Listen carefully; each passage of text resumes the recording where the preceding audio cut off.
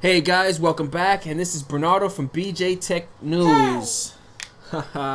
so today's episode is I think 138, and I'm continuing on my Windows 8 journey. And today, believe it or not, uh, I had a request of how to set up the Mail app within your start screen. Now, as you can know, uh, I've been I was searched around online, and they basically said click on the Mail app do a Windows C or put your mouse over to get the charm and hit settings and within settings you should see an account.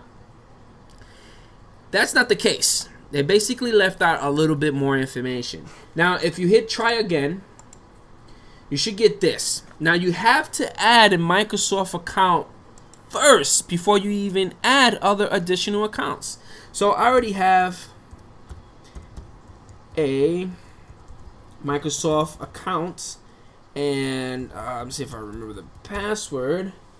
And I'm gonna hit save. And oh what's going on? So let me see if I got it right. Uh okay. Should have that right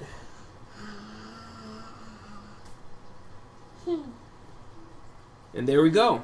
Now, it's already already configured, already logged in with a Microsoft account. Now, if I take my mouse or I do a Windows C command, it takes me to the charm, and if I go to settings, there's that account option that I was telling you guys. Go to account, and it gives you multiple options. It gives you add an account. And within add an account, you can basically configure it with Outlook, Google, AOL or Yahoo. And that's it, guys. Hopefully, you guys enjoyed this episode, and I catch you guys later. Thank you.